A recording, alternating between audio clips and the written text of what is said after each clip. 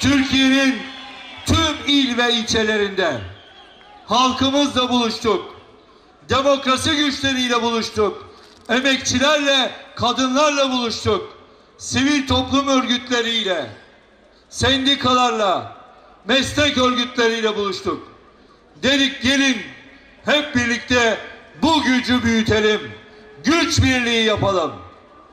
Evet, bu güç birliğinin gereği neyse, fedakarlık bu konuda neyse biz HDP olarak üstümüze düşeni yapacağız dedik. Onlar gibi kapalı kapılar arkasında kirli pazarlıklar yapmadık. Onlar gibi halka düşman ittifak kurmadık. Cumhur İttifakı diyerek oluşturdukları bu halkın hakkını gasp eden ittifak kendi seçmeninin hakkına bile saygı göstermiyor. Kendi seçmeninin bile hakkını gasp ediyor. İşte buna son vermek için halkla beraber, halkın içinde beraber güç birlikleri oluşturduk.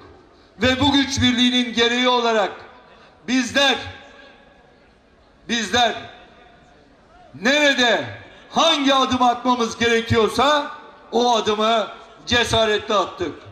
Evet sandıklara gideceğiz. HDP için gideceğiz. HDP'ye oy vereceğiz. Aday çıkarmadığımız yerde de bu faşist ittifaka karşı demokrasi güçlerini, demokrasi mücadelesini, barış mücadelesini hep birlikte büyüteceğiz.